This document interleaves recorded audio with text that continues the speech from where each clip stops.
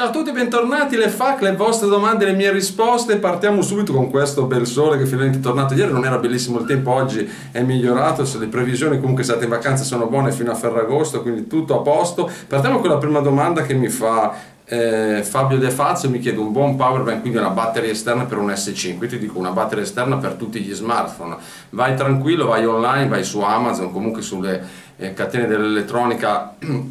non fisiche perché lì costano molto di più, prendila sicuramente online, trovi Romos, trovi tantissime marche da 10.000 mAh a 20.000 mAh se dai 15 ai 30 euro, quindi sia il prezzo che la qualità che la durata delle batterie elevata, io ho una Romos che ha circa oramai quasi un anno e mezzo due, ho fatto tanti cicli di ricarica, ancora tiene, sono ottimi dispositivi di consiglio comunque Romos da 10.000 10.000 mAh in su con un prezzo dai 15 ai 30 euro, 30 euro intendo le 20.000 ovviamente, eh. le 10.000 le trovi tranquillamente su Amazon a 15 euro, quindi sicuramente una Romos o comunque batterie affini, ma online, acquista online. Poi c'è Fabio Brisi che mi chiede una tastiera, siccome ti avevo risposto di una tastiera fisica, tu non vuoi una tastiera fisica, vuoi una tastiera Android che abbia tasti piccoli, no? tipo la Swift Key, allora io ti posso consigliare Touch Poly D che è una tastiera Android che trovi sul market che è personalizzabile ha una funzione per rimpicciolire un po' i tasti mi pare che sia proprio touch ball provala eh, ma ci sono anche altre tastiere affini se cerchi sul market che hanno la funzione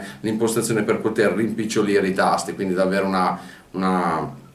una, una, possibilità di avere i tasti più piccoli perché tu hai le dita grandi mi dici quindi non riesci a digitare bene sulla tastiera. Prova la touch poll intanto. Dimmi se c'è questa funzione se no poi ti aiuto magari io cercandone altre magari nelle migliori applicazioni te ne metto dentro una. Vediamo. Comunque so che esistono tastiere che hanno la funzione di rimpicciolimento dei tasti come per te però prova touch poll e dimmi se trovi questa funzionalità all'interno. Uh, Andrew mi chiede un consiglio su un tablet da spendere poco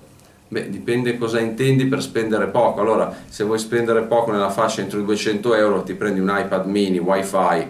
quello retina, non parlo quello il 3, il 2 va benissimo, anche quello senza lo sblocco di impronte digitali, hai un tablet che è la fine del mondo, iOS velocissimo, ancora nei tablet sicuramente Apple la fa comunque da padrone, se no eh, entro quella cifra ci sono dei bei tablet Samsung che funzionano bene, Tab 4, Tab 3, insomma, che hanno dei buoni schermi, però insomma, avere un retina come display se oltre sicuramente la fascia dei 200 euro di Android, secondo me. Quindi ti consiglio quello un fascia mm, medio, medio basso, un entry level, fascia media di, di, Samsung che sta intorno a quelle cifre, si trovano già dei, buon, dei buoni affari anche con schermi in Full HD, senza problemi, anche altre marche, eh. Anche Lenovo, anche Asus hanno comunque dei buonissimi eh, tablet, anche LTE su quelle cifre lì entro i 200 euro, quindi vai tranquillo. Poi se vuoi qualcosa di più specifico scrivimi anche via mail che te lo dico. Conny mi chiede note 7 sì o no, beh avete visto il video, note 7 sicuramente sì o no, vuol dire che tu te lo puoi permettere di comprare, di conseguenza ti dico assolutamente di sì, dai, è una domanda,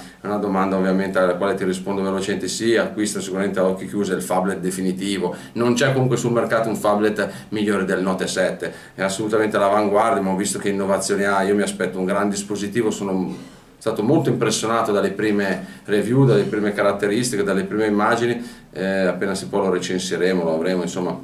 lo proveremo ma sicuramente fai un acquisto azzeccato al 99%, dai un 1% lo lasciamo sempre. Eh, Spinone mi chiede complimenti per la rubrica, grazie, una cassa Bluetooth esterna, qua abbiamo l'imbarazzo della scelta, dipende quanto vuoi spendere, piccolina, ce ne sono migliaia di tipi dai 10 ai 15 euro, un po' più grandi tipo la Gem che ho io, che avevo fatto anche una recensione, quello è un ottimo prodotto, Gem è una grandissima marca, ha un audio pulito, forte, 50 euro ti porta a casa una cassa che ha 20 watt d'uscita e funziona alla grande per dire, neanche 50, la trovi anche a 39-40 euro sul web, 50 nei negozi fisici, dipende sempre cosa vuoi, cosa vuoi acquistare te, se parliamo di, di fasce piccole, cioè di, di piccole casse per eh, sentire lo smartphone così al volo,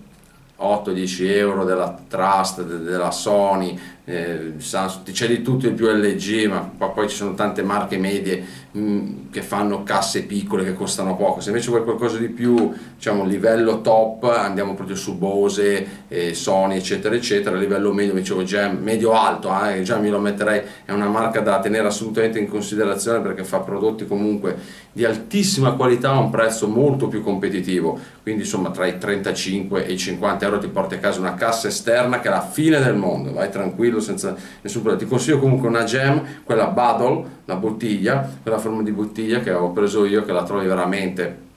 anche lei sotto i 50 euro è tra l'altro impermeabile poi ci puoi fare la doccia indistruttibile. Ho fatto la recensione vai a vederla quella lì sicuramente può essere un acquisto azzeccato. Poi c'è Alberto che mi chiede ho tra le mani un affare ho un full HD però sono tentato di cioè parli di un televisore ovviamente. Full HD sei tentato di passare al 4K e mi chiedi se è il momento, assolutamente, se hai l'affare, eh, assolutamente è il momento di passare al 4K, ormai ci sono i masterizzati, eh, scusate, i lettori Blu-ray 4K, i film in 4K stanno uscendo, il lettore ormai è sceso sotto i 300 euro, eh, le Olimpiadi verranno trasmesse in parte dalla RAI in 4K, si incominciano a vedere delle trasmissioni in diretta in 4K, in streaming su YouTube si trova un sacco di materiale in 4K, videocamere degli smartphone in 4K, quindi assolutamente sei assolutamente, è assolutamente il momento di farlo, soprattutto se hai da fare a occhi chiusi, puoi passare tranquillamente dal tuo Full HD, vendilo e